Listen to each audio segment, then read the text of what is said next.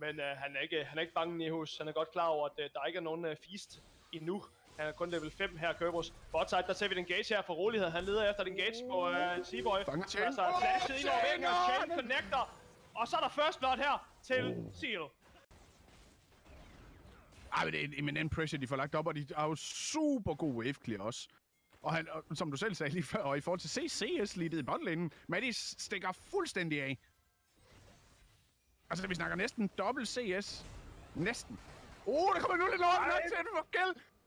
Ah, men altså, hvad kan man gøre i den situation der? det er Morgana Binds. Det er Forever Snare. Og First Tower. 150 guld oven i her, Hooligan, og så er de lige pludselig uh, tilbage i gamet. De er en, kun 1000 guld bagud lige nu. Har fået et midttårn her også. Engager på rolighed. De får et tårn mere her i midtlanen. Cataclysm bliver brugt. De står fire mand dobbelt nok op her fra Kerberos. Lad os se, om uh, han kan få fistet. Det kan han i hvert fald. Kiloen er en færdig mand. Seaboy leder efter rolighed. Over på den anden side af væggen. Sil kommer og hjælper ham. Så falder Kerberos over i sin egen jungle. Uh, bliver altså jagtet ned af de her tre mand fra Roligan af. Skal vi se uh, mere fight her? Chain Connector. Ignite bliver brugt. Og så får Seal sig endnu et kill her. 7-4 står det efter de her virkelig frem og tilbage. De uh, øh, har Kerberos i nærheden også, uh, så de er klar på det hele. Det vil sige, at vi nok kommer til at se TP. Øj, god skade fra Seal også. Og Kane Barrage kommer ind over og rammer fire mand her. De er nødt til at back ud af Baron. TP kommer igennem her. Der bliver brugt pool her fra Vladimir af. Han, han bliver fanget af Dark Binding. Kommer lige præcis ikke hen til teamfighten ordentligt. Så er det Kidun, der står på frontline af, af problemer. Cataclysm ligesom rammer tre mand her. Rolighed rammer altså tre mand. Seaboy ser ud til at være en af dem, der skulle falde først. Bliver nom nom nommet af Kerberos, som altså lister ud med Knight på. Og så er det Nihus, der flasher ind og bytter sig selv for en, Der kommer. Mattis MF. Og så ser vi altså, at Raxon også komme ind langt om længe, har ventet på sit moment. Leder efter kills, finder dem ikke på backlinen. Rolighed prøver at komme ud her, bliver lige præcis dræbt af Snow Predator, som virkelig kan hygge sig her sammen med Raxon. Som game står lige nu, der har han faktisk Snow Predator, altså Ezreal, fået et lead.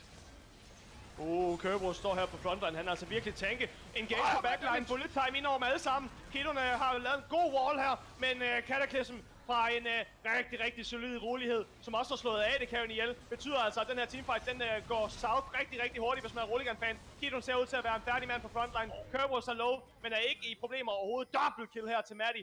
Og så kan de altså tage en drag. Ja, det var så det der gold beat, vi så lige skulle snakke om igen, ikke? Flash Dark Finding, sikkert playgrisen. Haps! Så er man en færdig, færdig jungler. Slå uh, Seaboy ihjel. Rolighed spawner nu også. Kan måske nå at løbe op til at smite den også. Den eneste, der er rigtig er i nærheden lige nu, det er Nihus. Credit Snow Predator, han løber fra basen også. Ej, grisen, det er... Ej, det, det, er, det, det er lidt et grisk move. Ja, det det må man sige, det er det godt nok. Garen ned under halv liv her. Nu kommer uh, rolighed også ind. Uh, smite klar, det, de har også... God damage. Lige om, lige om lidt, må ikke de får den her Baron uden contention. Jo. Så er han en færdig support. Cataclysm rammer to mand. Den er de nødt til at flashe ud af. Sil uh, rush ind på backline og nødt til at jump tilbage også. Kom hele vejen ind imellem uh, Nexus-tårnene. De får to inhibitors nu her. De ser ud til at få det hele lige i øjeblikket. Matty han er super aggressiv. Han ved godt, hvem det er, der bestemmer lige nu. Men de, de får jo nogle gode muligheder. Nu er Ezreal nede, eller Snow, Snow Predator Kiddo der nede, og Neo er først lige kommet tilbage. Og for første, øj, for første gang i, uh, i lang tid, så, uh, så ser vi altså også, uh, at de ikke bare ændrer gamet, eller gør de det? De ændrer er måske gamet efter at få en inhibitor her, ligesom vi har set dem gøre det så mange gange før. De kommer ind her, hurtig exhaust på ham også, men det er altså ikke nok til at stoppe dem. De får to kills, et dobbelt kill her til uh, Kerberos, som virkelig er et monster. Kæmpe raid boss lige i øjeblikket. Han altså hele, hele holdet med for at klare, og så er de uh, aced uh, Morgana-grisen her for at lave sit ace.